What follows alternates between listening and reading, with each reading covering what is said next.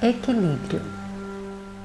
A boa relação do ser humano com o ambiente que o cerca deve ser baseada na integração, em ser parte de um todo maior e não algo separado das complexas relações e interações que formam a Terra. Por mais que nos grandes centros urbanos, por vezes, pareça que a existência humana é desassociada da natureza, não tenha dúvida. Tudo provém do nosso planeta, da terra semeada, dos rios e mares férteis, ricos em vida. Nas comunidades pesqueiras, isso não só não é diferente, como também se torna ainda mais evidente. A figura das pescadoras e pescadores artesanais vive uma nítida relação de simbiose com seu ambiente, seja o mangue, o rio ou o mar. O trabalho dessas pessoas é importantíssimo para a base alimentar de todos, além de ser um meio de sobrevivência para milhões de pessoas ao redor do mundo e milhões de brasileiros. Sendo assim, manter o equilíbrio nas comunidades pesqueiras é necessário especialmente por serem comunidades ambientalmente sustentáveis.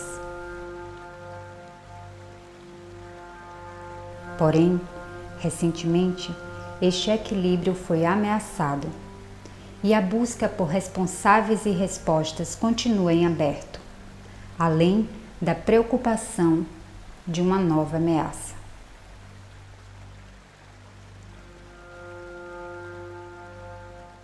O dia 30 de agosto de 2019 ficou marcado pela chegada das primeiras manchas de óleo no litoral brasileiro.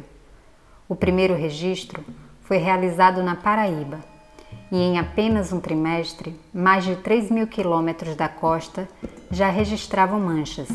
Todos os estados do Nordeste, incluindo o Espírito Santo e o norte do Rio de Janeiro. As manchas atingiram áreas pesqueiras e reservas naturais importantíssimas para a manutenção do equilíbrio de ecossistemas.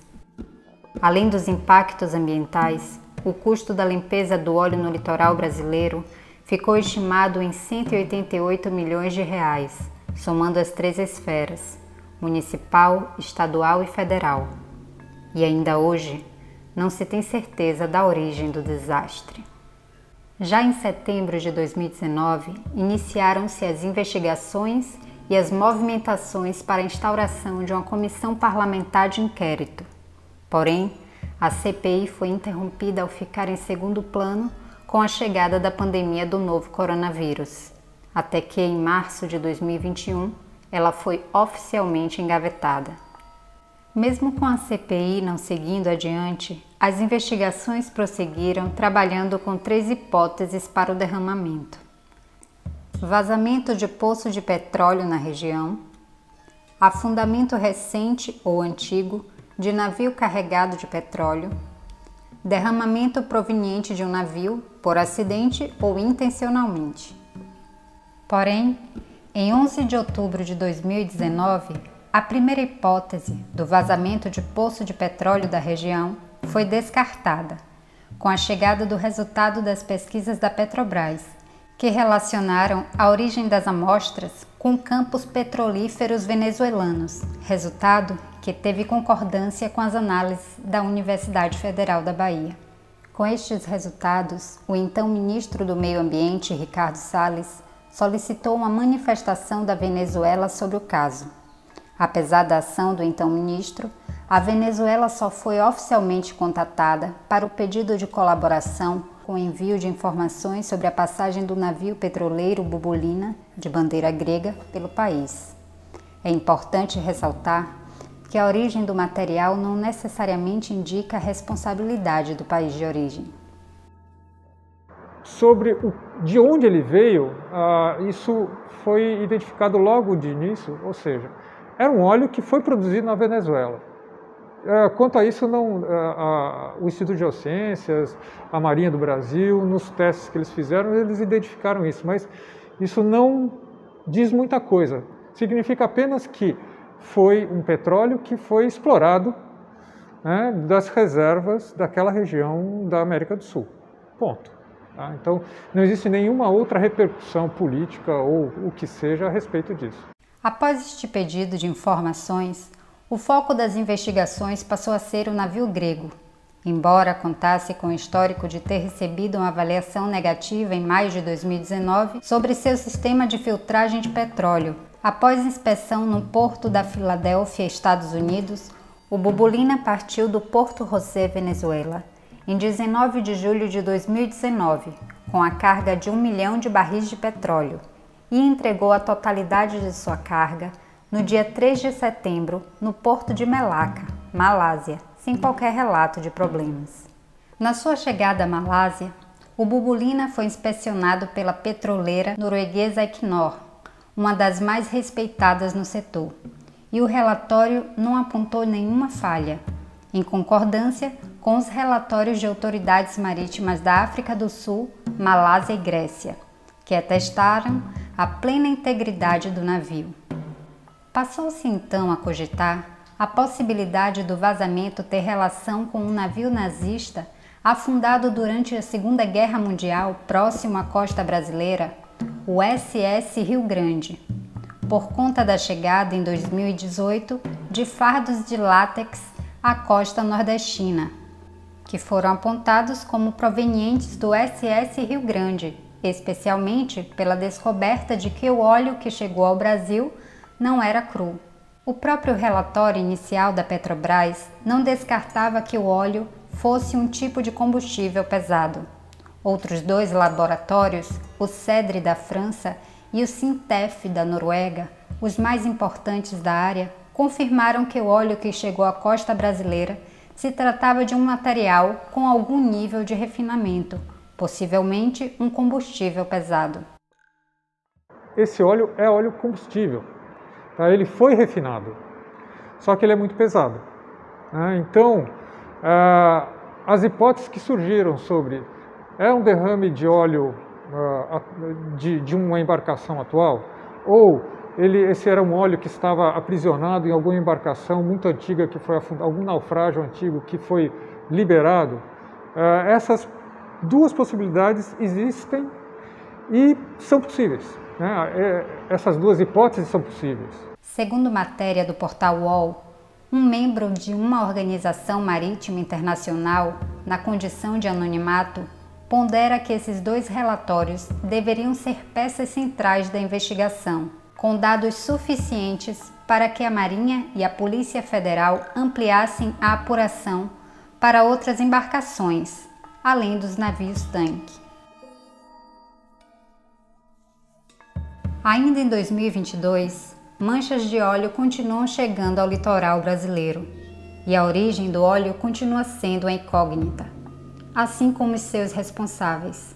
As investigações muitas vezes foram desencontradas, com hipóteses contrastantes entre si. É fundamental que esta investigação seja concluída de forma correta, para que se possa aprender com as falhas, os responsáveis respondam aos prejuízos ambientais causados e, o mais importante, evitar que desastres como este ocorram novamente.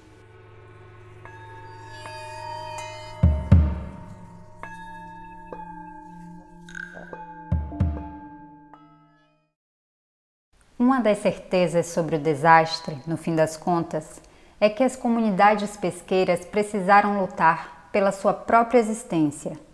As comunidades do Conde de Canavieiras, incluindo arredores, trouxeram dois exemplos das diferenças sobre como o enfrentamento à ameaça se deu. Aí a gente juntou, a colônia juntou um grupo aqui, saímos pedindo sacos, pedindo alimentos para as pessoas que iam trabalhar, fizemos um grupo, Fomos limpar aqui, limpamos aqui é, em dias alternados. Domingo, um domingo ia, um domingo não ia. Juntava um grupo hoje, o grupo que ia hoje, no próximo domingo não poderia ir. Aí vinha um outro grupo. Isso aí começou assim que chegaram as primeiras manchas lá no, na região de Pernambuco, Alagoas. A gente ficou aqui com o sinal em alerta. E aí decidimos a gerar um plano de ação caso chegasse na costa sul de Sergipe norte da Bahia. A gente aí tinha como prever com quantas semanas poderia chegar aqui por conta da, das correntes aqui nessa região. Então a ideia foi começar a agir antes que chegasse. A gente avaliar quanto de praia nós temos na área da Resex, né? É, que a gente já sabe isso, né? De acordo com o volume de, de barras, né? Do afluente dos rios no mar que tem aqui na região, é, a gente calculou quanto de pessoas a gente precisaria para ter na praia e nas entradas de barras. A gente aqui na comunidade, quando a gente viu que a coisa estava além daquilo que a gente não estava esperando, a gente aqui vamos ter que dar um jeito. Alguém vai ter que fazer alguma coisa. Viu? Aí foi que eu chamei na colônia, o pessoal da colônia, os pescadores, as, as marisqueiras, e a gente vamos tentar fazer um mutirão, vamos tentar ajudar, fazer a nossa parte.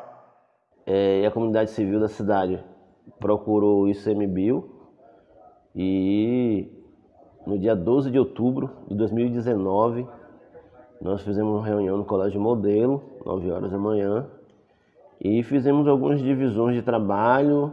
A gente já tinha, desde, desde o dia 12, uma articulação com alguns professores da Universidade Federal da Bahia, que estava acompanhando é, o derramamento quando chegou no litoral norte.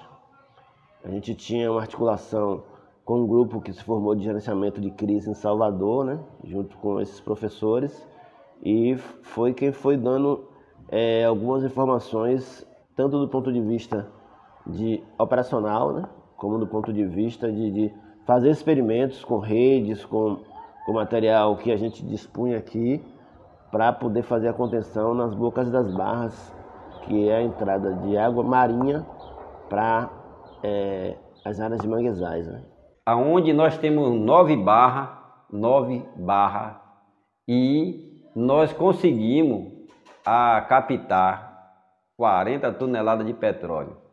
A resposta à chegada do óleo nestas duas comunidades demonstrou a importância de um planejamento, da existência e presença de órgãos ambientais, da instrução das comunidades sobre como agir nestas situações, além de uma ação conjunta entre os setores civis, universidades e governos.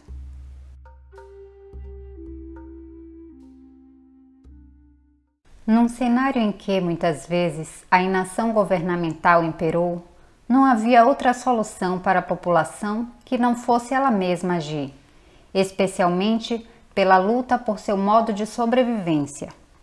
Entretanto, o contato com o petróleo e seus derivados traz muitos riscos e não deveria ser a população a responsável pela retirada dos materiais.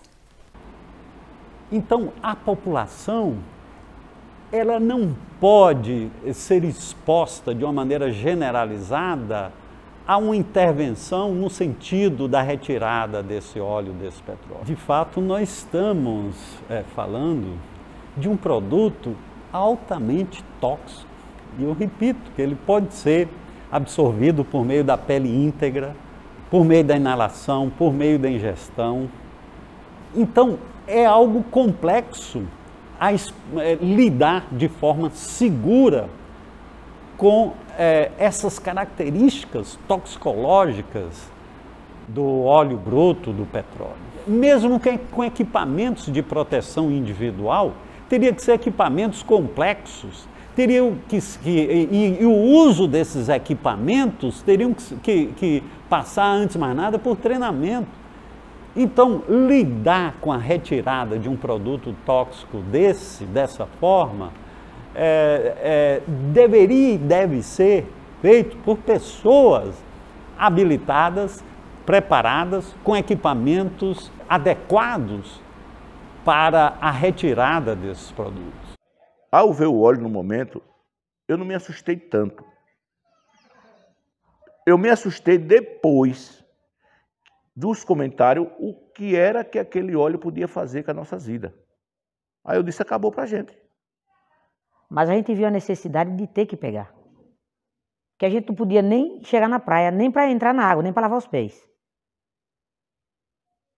Pessoas aqui passou mal o impacto na saúde ele, ele foi visível. Hoje tem pessoas que têm problema na visão, que não foi fiscalizado, que a saúde, a saúde pública em si ela não estava preparada para atender essas necessidades e essa demanda no derramamento do petróleo.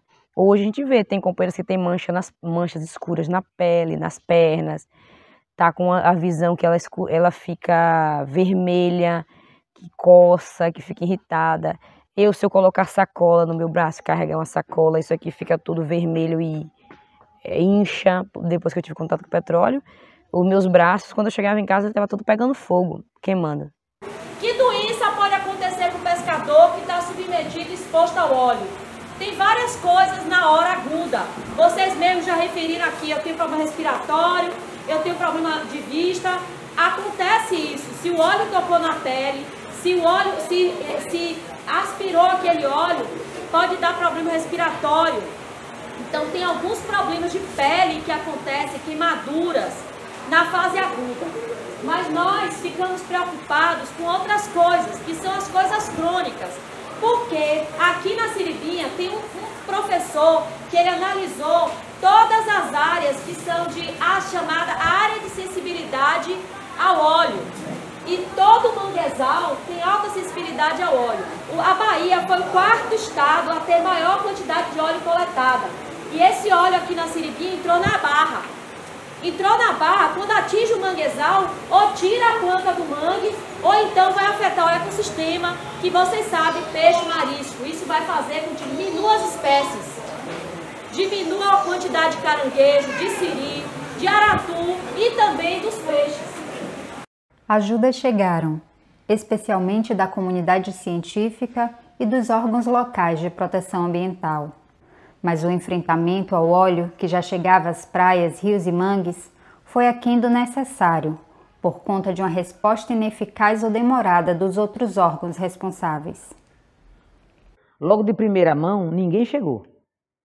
Foi necessário que eu fiz um, um vídeo aqui, postei nas redes sociais, porque a gente estava aqui disponível, para ir limpar a praia, que a Petrobras começou a limpar. Contratou algumas pessoas aqui, no contrato teve quem foi limpar. Mas na hora de fazer o mutirão, a Petrobras abandonou tudo aqui, um, um, tem um, um, ponto de apoio aqui, uma casa de apoio, né? foram embora, anoiteceram e não amanheceu. Foram embora e deixou a gente aqui à deriva. É, logo quando o óleo chegou, os equipamentos foi nosso, nós, cada um trazia um de casa. Era pá, gadanho, carro de mão, balde, saco de lixo, cada um quem tivesse em casa, saco de mercadinho mesmo, a gente pegava, um trazia um tanto, outro trazia outro, e assim foi, né? Primeiro, o governo deveria ter mais um pouco de respeito por esse povo.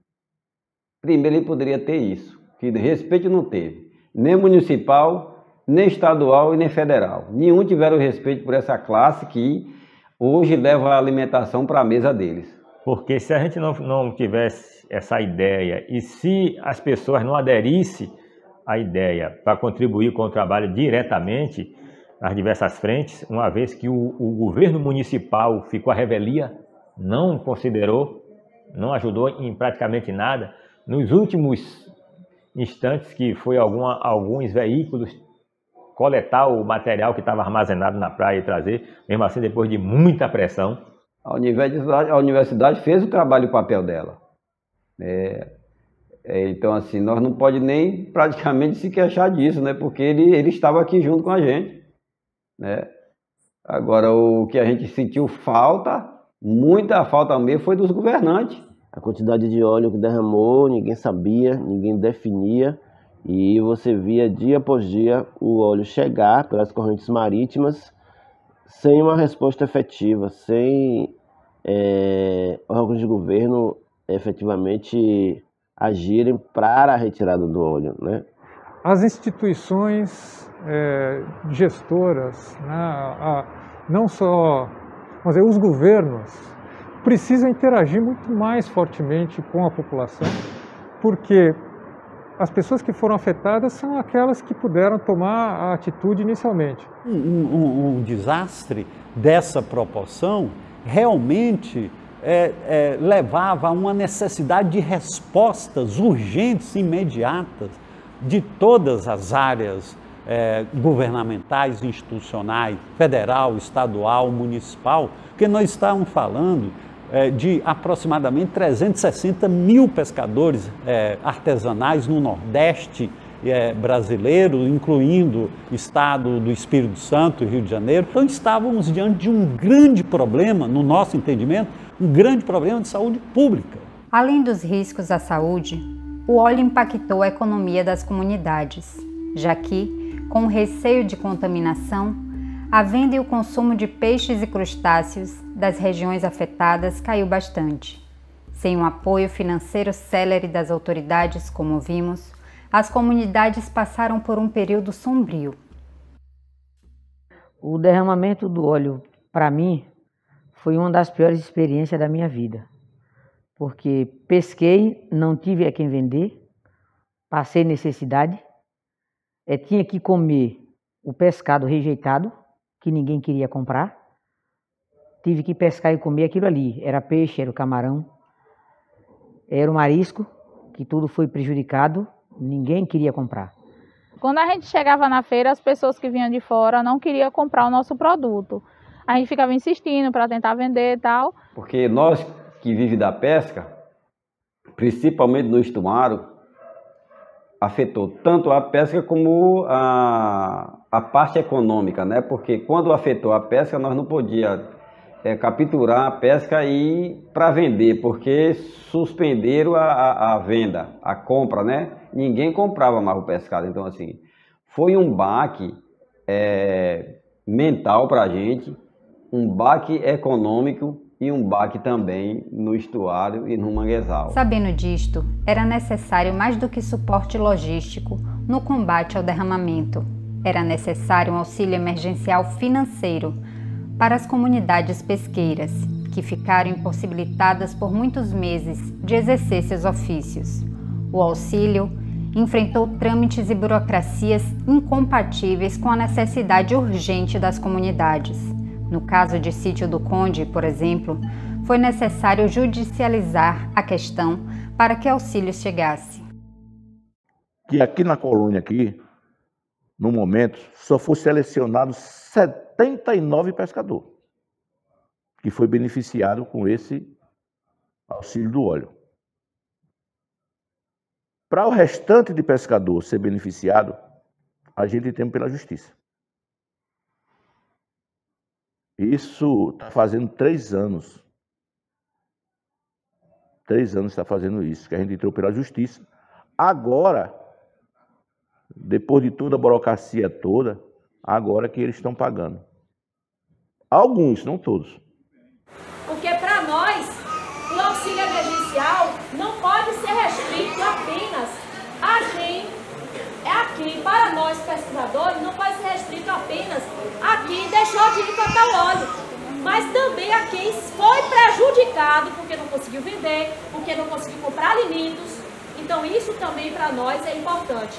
85% da população de pescadores, porque eu só faço pesquisa com pescador, parou de pescar. 85%. E 93% declarou não ter recebido nenhuma ajuda financeira durante ou após o derramamento.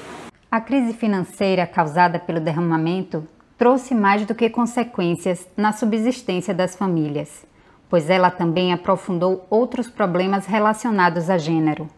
Mesmo que, em muitas comunidades, não só as mulheres tivessem grande participação na retirada do óleo, mas também assumissem um papel de liderança nos esforços de limpeza. Foi um destaque, né? Porque foi a maioria foi mulheres que foi e nós somos fortes, sim. Porque a gente deu, deu até então também a gente não tinha nenhuma noção de, de perigo, né? Depois que a gente veio ter e veio ter mais cautela. Mas de início a gente foi como a gente estava mesmo, descalço, sem luva e tal. Mas a mulher marcou presença mais do que os homens aqui. E em outras comunidades também. Além dos riscos comuns a ambos os gêneros, o contato com o óleo trouxe problemas específicos para a saúde das mulheres. Várias pessoas que têm vários problemas de saúde. O, o, ciclo menstrual mudou. As pessoas, ah, não, é porque já tinha. Não, as mulheres, nós mulheres conhecemos nosso corpo. O ciclo menstrual de muitas mulheres mudaram, né? Desregularam por conta do impacto do petróleo. E a crise econômica que o desastre causou nas comunidades aprofundou problemas que, infelizmente, são recorrentes. Né? No período do derramamento do petróleo, as mulheres pararam de, de produzir, né? elas tiveram que coletar, outras não, o marido também deixou de pescar. Né? Essa, essa questão da violência, é, do alcoolismo, é, isso é uma realidade, eu acho que de todas as comunidades, né? mesmo antes do derramamento do petróleo. Mas esses impactos que, que mexem com a produção e com a renda, eles trazem ainda mais é, subsídios para essas questões de violência, né? Que eu, eu, caracterizo que a violência não seja só, só bater, né? Mais psicológica, é, em palavra, gritar e tal. A questão da violência, ela é uma realidade em todas as comunidades, né? E a mulher, ela, ela, ela depender exclusivamente da produção do marido, isso faz com que dê é, potência para que elas sejam violadas, né? É fundamental transformar esta experiência em aprendizado. E mais, é preciso repensar o modelo em que vivemos e interagimos com o ambiente. A principal lição é que temos que repensar esse modelo de desenvolvimento que resulta em desastres é, ampliados como esse.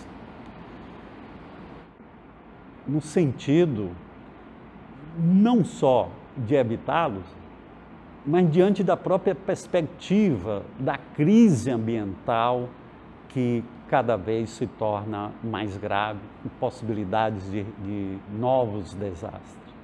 Existe algum ponto positivo num problema, num desastre assim, tá?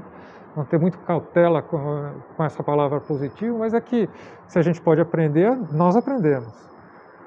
Nós sabemos o que temos que fazer, agora a gente tem que fazer a lição de casa. Né? Saber lidar com a emergência, isso é que nós não sabemos, a gente não tem planejamento. É um problema, é uma falha da nossa cultura e da nossa cultura administrativa. Tá? Mas nós aprendemos. É, nós temos as lições aí.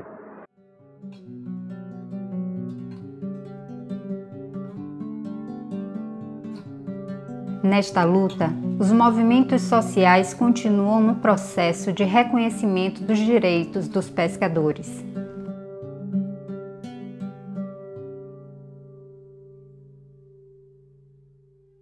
Proteger as comunidades pesqueiras é mais do que proteger um ofício, é proteger um modo de produção artesanal mais integrado, em oposição aos modelos industriais predatórios já que a produção artesanal é comunitária, ecológica e equilibrada.